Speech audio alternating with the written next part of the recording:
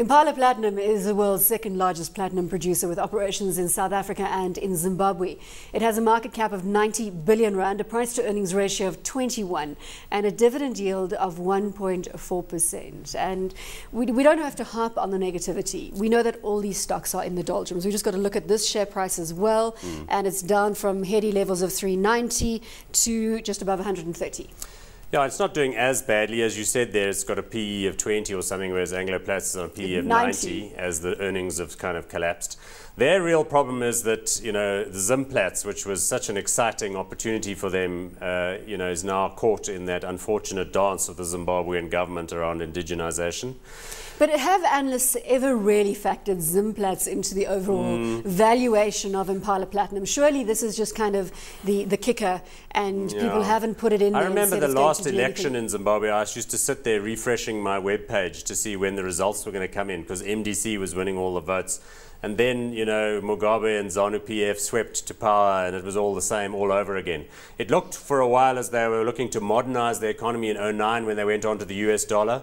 But no, but you aren't answering my question. Did you not hear I think so. I think I asked you whether analysts have yeah. factored in Zimplats to the Impala Platinum story, or does it just sit outside the fold? Well, it's now a, it does. Now it does. But back then, when you know they were taking the biggest stake, I think it was a big part of the excitement because it's 100 million ounces, close to the surface, fabulous margins, all of that. So if they had been able to retain that stake and bring that production on, but now they've kicked it onto the slow lane, the back burner.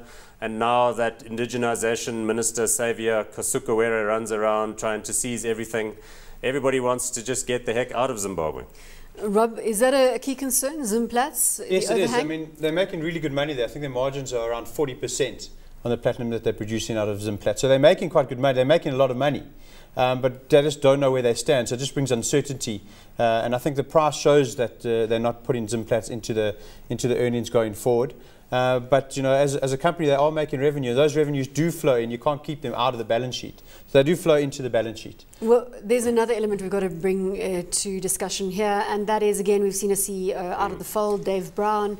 You know, saying time out, can't take the pressure anymore. Well, I don't know if that's what he exactly mm. said, but he decided to go and look further afield. For well, are we going to see what, what's happening at Impala Platinum on the management front?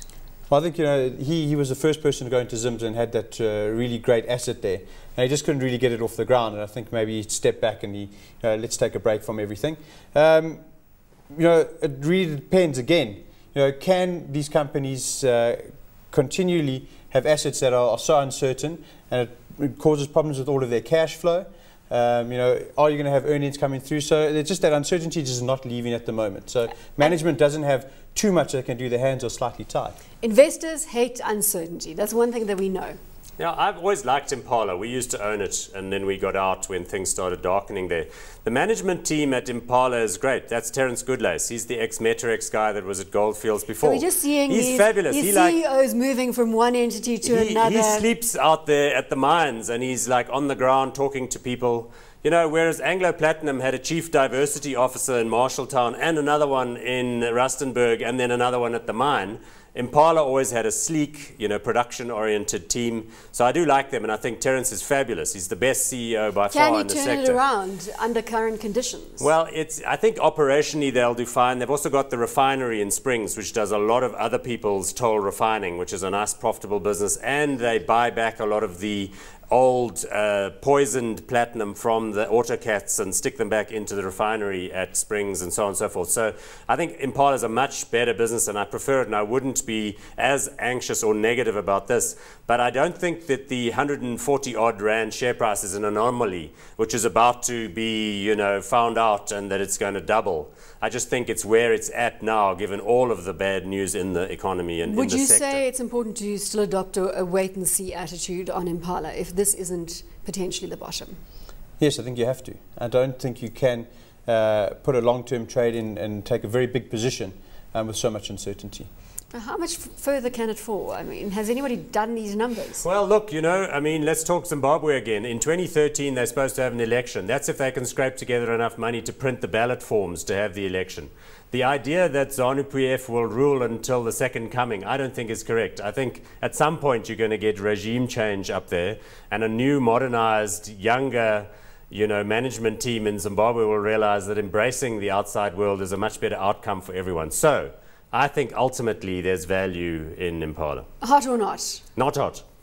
You say there's value. I ask you hot or not, you say not hot. What kind Yeah, of well, you consistency know, is that? You got to just take your pick out there. It's not the hottest stock, in my opinion, at this level. I don't think I trust you on any of your calls, actually. Rob, hot or not? Still staying out of platinum, not hot for Lonmin. I see Uh, consistency. I see consistency in your call.